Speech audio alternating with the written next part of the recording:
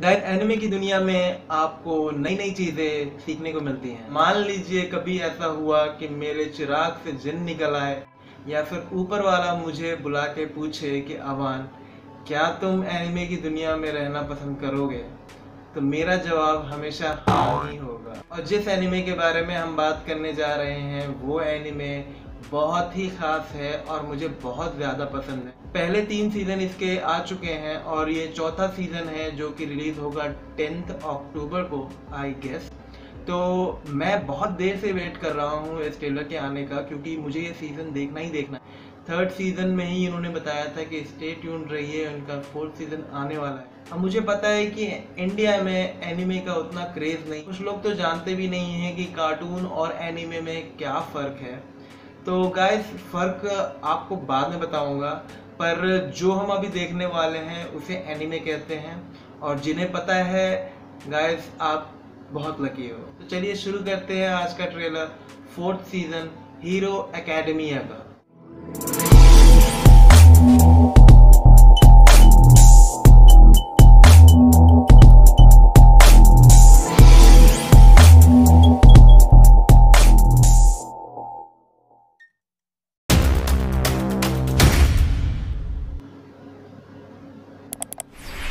Academy, Season 4.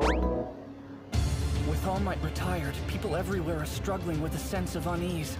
In this new reality, fear is on the rise, and we need heroes more than ever. If you want to get stronger, then walk on through. If I worry about what everyone else is doing, I'll never be the best. I'll forge my own path to the number one spot. The symbol of peace is gone and the people are looking not for a dim light, but a dazzling one. At this point, those वो in the all might था shadows और and ये those हमारा in villain the group है leaderless. Someone must take control.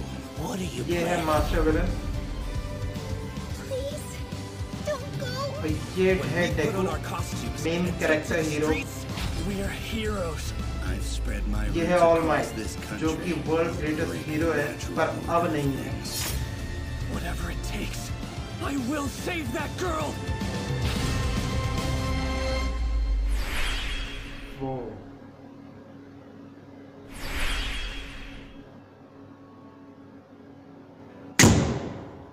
वो आपने एक movie देखी होगी स्काई हाई जो कि एक स्कूल होता है और जिसमें टीचर से लेकर प्रिंसिपल से लेकर स्टूडेंट तक सभी के पास कोई ना कोई पावर ज़रूर होती है। और जिसके पास पावर नहीं होती है, वो साइड किक्स बनते हैं। बेसिकली यही कहानी इस एनीमे में ली गई है। इसकी कहानी यही है कि हर एक बंदे के पास उनका एक स्पेशल पावर होता है और मैक्सिमम 80 परसेंट जो पॉपुलेशन है, उनके पास कोई ना कोई पावर ज़रूर है। और 20 परसेंट की रही बात तो वो नॉर्मल इंसान है, जैसे कि स्काई हाई में भी था। कुछ लोग नॉर्मल थे, कुछ लोगों के पास पावर नहीं मिलती थी। कुछ लोगों को बाद में मिलना करती थी, कुछ लोगों को ज़बरदस्ती दिलवाई जाती थी। सेम टू सेम यही कॉन्सेप्ट इस एनिमे में है। पर ये स्काई हाई से बहुत ही अच्छा एनिमे है और इसकी स्टोरी भी बहुत अच्छी है। तो जिस ऑल माइट की मैं बात कर रहा था ऑल माइट जाना जाता है वर्ल्ड का ग्रेटेस्ट हीरो और उसके पास पावर है वन फॉर ऑल नाम का। इस पावर की खासियत ये है कि ये जनरेशन टू जनरेशन पास किया जाता है। और जिसके पास जाता है और पास ऑन होता जाता है तो वो और पावरफुल होता जाता है, आगे वाला सक्सेसर